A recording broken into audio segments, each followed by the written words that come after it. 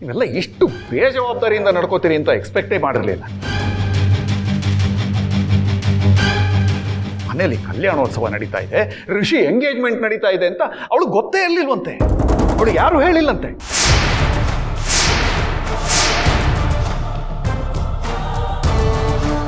ಇಲ್ಲ ಅಪ್ಪಾಜಿ ರಾಜನ್ ಹಾಗಾಗಿ ಹಾಗಾಗಿರೋದಕ್ಕೆ ಸಾಧ್ಯನೇ ಇಲ್ಲ. ಹಾಗಾಗಿದೆ ಕಣಮ್ಮ.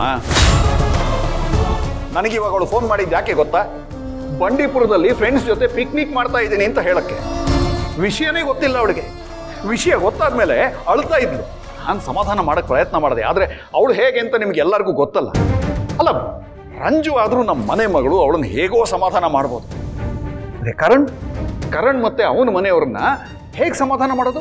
ಅವ್ರು ನಮ್ಮ ಬಗ್ಗೆ ಏನು ತಿಳ್ಕೊಳ್ಳಲ್ಲ ಹೇಳು. ರಂಜುಗ್ ವಿಷಯ ಗೊತ್ತಿಲ್ಲದೆ ಇರೋದಕ್ಕೆ ಹೇಗೆ ಸಾಧ್ಯ ಬಾವಾ? ಅವಳಿಗೂ ಇನ್ವಿಟೇಷನ್ ಹೋಗಿರ್ಬೇಕಲ್ಲ? ಜಾನಕಿ ಬರ್ದಿರೋ ಲಿಸ್ಟಲ್ಲಿ ರಂಜು ಮತ್ತೆ ಅವಳ ಫ್ಯಾಮಿಲಿ ಹೆಸರು ಇತ್ತು. ಹಾಗಿದ್ರೆ ಅವಳಿಗೆ ಇನ್ವಿಟೇಷನ್ ಯಾಕೆ ಹೋಗಿಲ್ಲ? ಇದಕ್ಕೆ ಯಾರು ಜವಾಬ್ದಾರಿ? ಹೂ ಇಸ್ ರೆಸ್ಪಾನ್ಸಿಬಲ್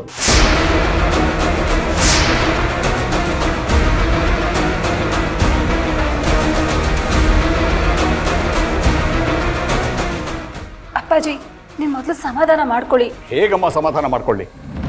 ಮನೆ ಮಗಳು ಮತ್ತೆ ಅಳಿಯನ್ನ ಕಾರ್ಯಕ್ರಮಕ್ಕೆ ಕರೆಯಕ್ಕಾಗದೇ ಇರುವಷ್ಟು ಬಿಸಿ ಇದ್ರ ನೀವೆಲ್ಲ.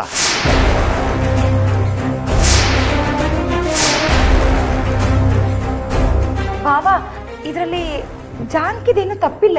ಹಾಗಿದ್ರೆ ಇನ್ಯಾರ್ದು? ಇನ್ಯಾರನ್ನು ಕೇಳಿ ನಾನು.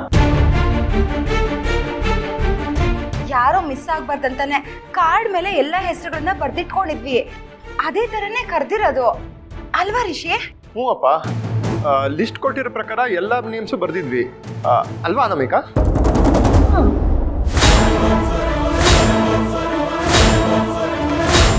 ಖಾನ್ದಾನ್ ದೊಡ್ಡದಾಗಿದೆ ಲಿಸ್ಟಲ್ಲಿರೋ ಹೆಸರೆಲ್ಲ ಯಾರು ಬರೀತಾರೆ ಅಂತ ಕೆಲವು ಹೆಸರನ್ನ ಇಗ್ನೋರ್ ಮಾಡಿದೆ ನೋಡಿದ್ರೆ ಅದರಲ್ಲಿ ಈ ರಂಜನಿ ಕರಣ್ ಹೆಸರೇ ಇರ್ಬೇಕಿತ್ತ ನನ್ ಕರ್ಮ ಅನಾಮಿಕಾ ಕರಣ್ಗೆ ರಂಜುಗೆ ಕಾರ್ಡ್ ಕಳಿಸ್ಲಿಲ್ವಾ ಸರಿ ಆಯಿತು. ಬಟ್ ನೆಕ್ಸ್ಟ್ ಟೈಮ್ ಹೇಗಾಗಬಾರ್ದು ಅವಳು ನಮ್ಮನೆ ಮಹಾಲಕ್ಷ್ಮಿ. ಅವಳನ್ನ ಮರಿಬಾರ್ದು. ಸರಿನಾ? ಆದರೆ ನಮಗೆ ಕೊಟ್ಟಿದ್ದ ಕಾರ್ಡಲ್ಲಿ ರಂಜಿನಿ ಕರಣ್ ಕಾರ್ಡ್ ಇರಲಿಲ್ಲ ಅಣ್ಣ. ಮೇ ಬಿ ಅತ್ತಿಗೆನೇ ರಂಜಿನಿಗೆ ಅವ್ರ ಮನೆಯವರಿಗೆ ಕಾಲ್ ಮಾಡಿ ಕರೆದಿರ್ಬೋದು ಅಂದ್ಕೊಂಡ್ವಿ ನಾನು ಅದನ್ನು ವಿಚಾರಿಸ್ಕೊಳಕ್ಕೂ ಹೋಗಲಿಲ್ಲ. ತಪ್ಪು ನಂದೆ. ಸಾರಿ ಅಣ್ಣ. ಸಾರಿ ಹೇಳಿಬಿಟ್ರೆ ಎಲ್ಲ ಸರಿಯಾಗಿಬಿಡುತ್ತಾ ಹರಿ? ನಮ್ಮ ಮನೆ ಮಗಳನ್ನ ಮದುವೆ ಮಾಡಿಕೊಟ್ಮೇಲೆ ಅವಳನ್ನ ಅವಳ ಮನೆಯವರನ್ನ ಇನ್ನೂ ಚೆನ್ನಾಗಿ ನೋಡ್ಕೋಬೇಕು. ನಮ್ಮ ಮನೇಲಿ ಏನೇ ಕಾರ್ಯಕ್ರಮ ನೋಡಿದ್ರು ಮೊದಲು ಅವ್ರನ್ನ ಕರಿಬೇಕು ಅಲ್ವಾ?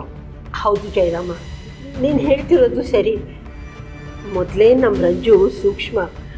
ಅಂಥದ್ರಲ್ಲಿ yes yes Karan and his ಅಮ್ಮ what they say about us.